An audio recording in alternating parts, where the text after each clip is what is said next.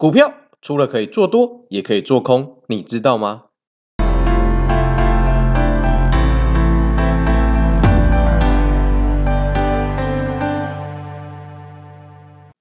最近台股走势相当弱，那金管会也宣布一些策略，其中有一项就是融券保证金乘数由一百 percent 调整成一百二十 percent，这跟我们今天要讲的融券是息息相关的。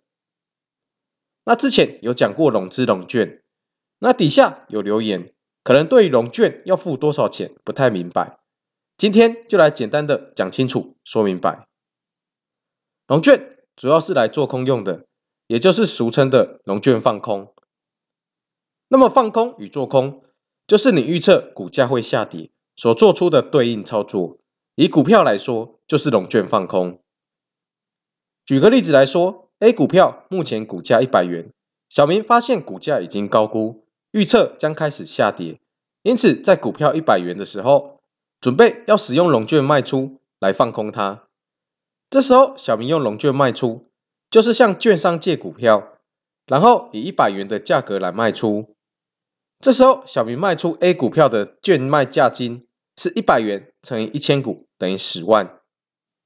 那这个卖出股票的钱，就是融券担保品价值，是会在券商那边的。那你跟券商借券是要支付保证金，通常是融券价金的九成。所以，小明需支出一百元乘一千股乘以九十 percent。等于九万。这次融券卖出的操作，小明就先拿出九万来支付给券商，也是俗称的保证金。小明在 A 股票一百元的时候融券卖出，当股价五天后下跌来到八十五元，小明下单融券买进，就是买进一张八十五元的 A 公司股票，然后还给券商。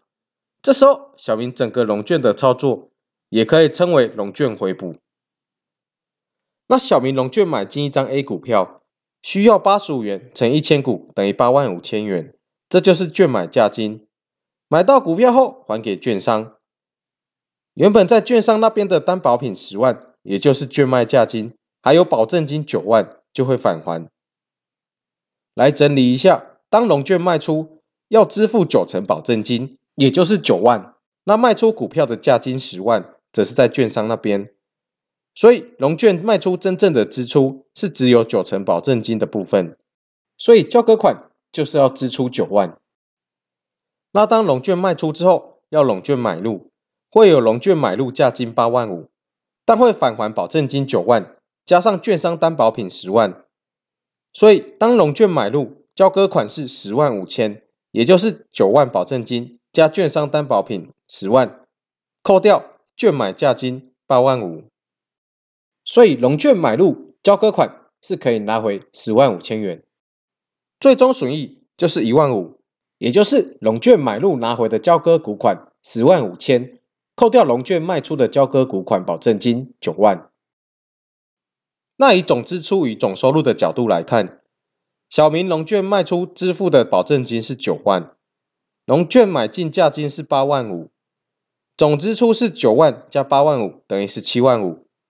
总收入是九万加十万等于十九万，总收入十九万减总支出十七万五等于一万五。小明这次操作是赚进一万五千元。由上述的例子可以看出，收入的保证金与券卖价金九成当保证金是一样的，就是你融券的支出是给券商当保证金，因此损益计算的公式可以简化为担保品，也就是融券卖出价金。减掉融券买进价金，简单的说就是卖出股票的价位减买进股票的价位，也就是价差。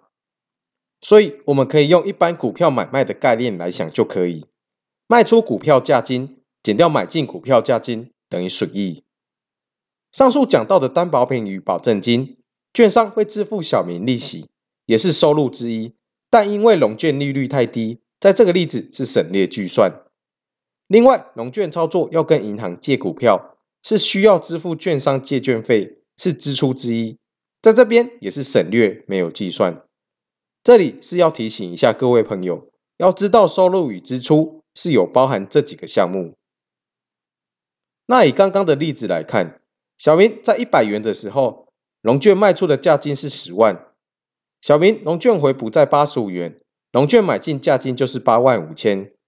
那融券卖出价金是十万，减掉融券买进价金八万五千，小明就是赚一万五。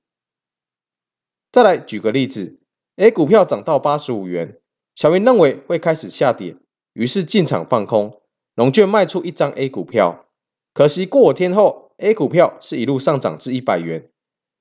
这一段龙券卖出之后的上涨走势，对小明来说就是俗称的“高空走势”。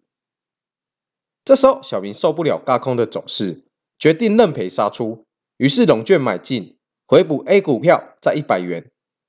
这次小明龙券放空的操作，龙券卖出的担保品，也就是龙券卖出价金是八万五千元，龙券买进价金是十万元。按照刚刚的公式计算，小明这次损益是八万五千减十万等于负一万五千元。小明这次龙券放空的操作是惨遭嘎空。惨赔一万五千元。刚刚龙券放空赔钱的例子，有一段高空的走势，这时候要注意龙券维持率是否高于一百三十 percent。那维持率不足一百三十 percent，会被追缴保证金。这时候你可以选择提高维持率，被强制断头，也就是被强制龙券买进回补。这是龙券放空要注意的事情之一，就是维持率。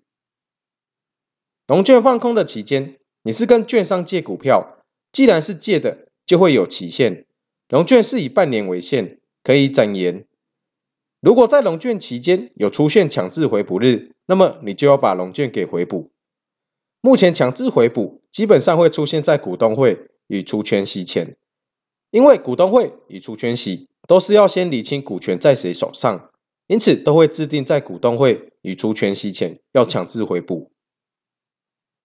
那券商软体下单的界面上，应该都会写资几层、券几层。那这边是券九成，代表融券要自备九成保证金。那目前因为金管会有规定，所以可以看到这边是写着券十二成，代表你要自备一百二十 percent 的保证金。那有些券商的 APP 是会在下单界面上显示试算，所以在下单前可以先看看要准备多少钱。不过，不管有没有在下单界面及时显示，在成交之后，最好去账务查询里面看一下交割款查询，这样就很明确知道你的交割款到底有多少。以上的资讯分享给各位朋友喽。本频道没有建议任何买卖操作，单纯分享资讯。以上分享皆为个人心得，本人无邀约推介之行为。今天的影片就到这里了，喜欢我影片的朋友记得订阅、开启小铃铛哦。如果有想要分析的个股，也可以留言让我知道哦。咱们就下次见啦，拜拜。